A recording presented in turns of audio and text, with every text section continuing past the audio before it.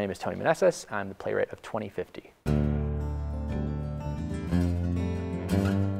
For me, 2050 is really taken from this thesis that by the year 2050, uh, we're going to be so diverse as an American people that prejudice and racism won't longer exist because there's just going to be just an intermix of different kinds of communities coming together, so there is no majority anymore.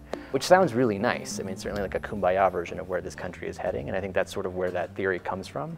But just, you know, looking at the history of America and the malleability of race and the systemic institution of white supremacy, I am dubious of that conclusion. So it's a play that asks that big question of like, what if Latinos were white one day?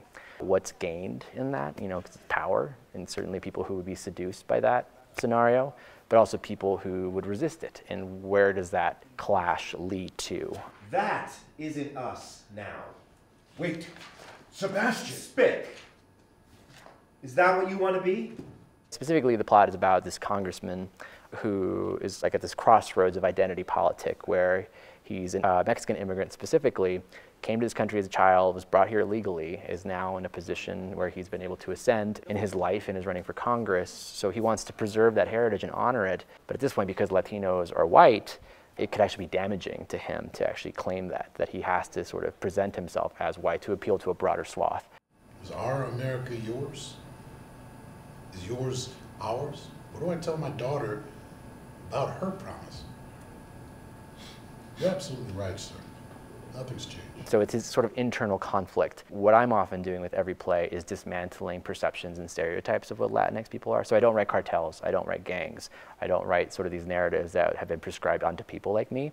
It's showing different kinds of communities, more hopeful, more positive representation, still conflict and drama, uh, oftentimes with sort of this outside culture imposing these labels on us.